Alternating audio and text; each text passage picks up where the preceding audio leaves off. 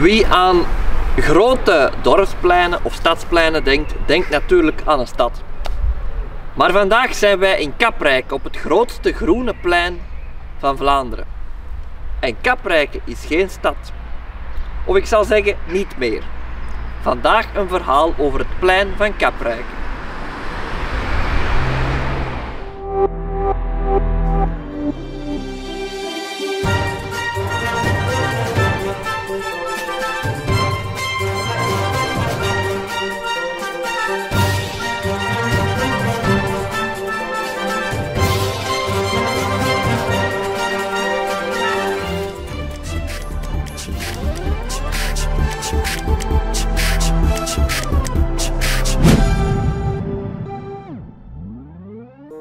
Het groene plein van Kaprijke is ongeveer 1 hectare groot. Het is vlakbij het 17e eeuwse stadhuis gelegen en de parochiekerk Onze Lieve Vrouw Hemelvaart.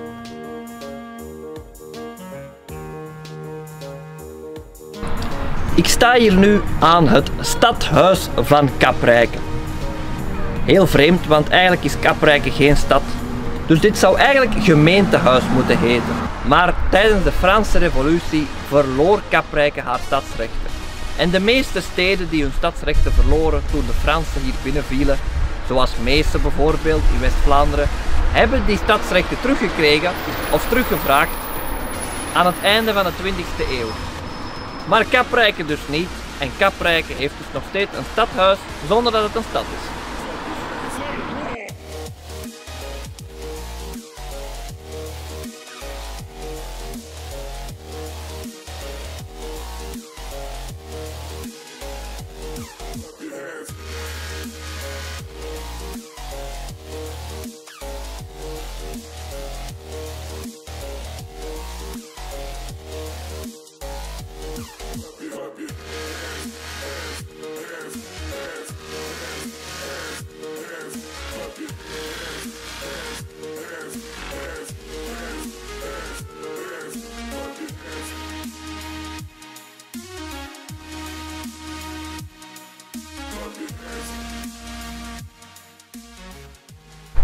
En wie het groene dorpsplein ziet, ziet meteen die kiosk. Oorspronkelijk in 1930 was hier al een kiosk terug te vinden.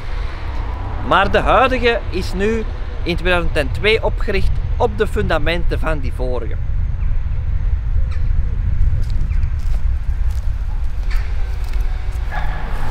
Ja, een stadsplein is het niet echt. Hè. Het is meer een gemeenteweide maar officieel het grootste groene plein van Vlaanderen. Hè.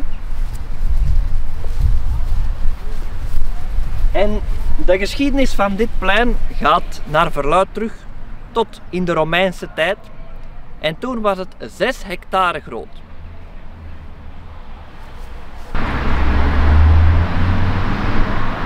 En tijdens de middeleeuwen werd dit plein hier gebruikt voor de lakennijverheid. Heel belangrijk geweest in Vlaanderen tijdens de middeleeuwen.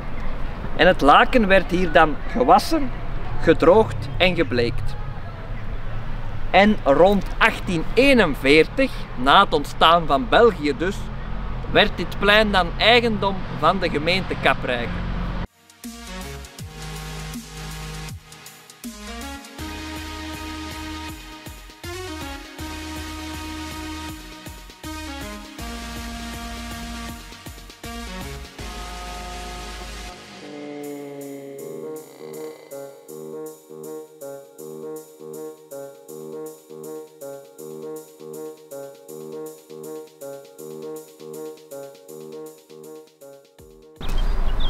Omstreeks 1770 stonden er verschillende kapellen op het plein. Op elke hoek van het gemeenteplein stond een kapel. Maar van al die kapellen is er slechts één bewaard en dat is deze. De Sint-Franciscuskapel uit de 19e eeuw. En hier zien we het brouwershuis terug. Victor Standaard liet dit oprichten in 1893. Mooi hè? Zo eclectische stijl. Heel symmetrisch ook.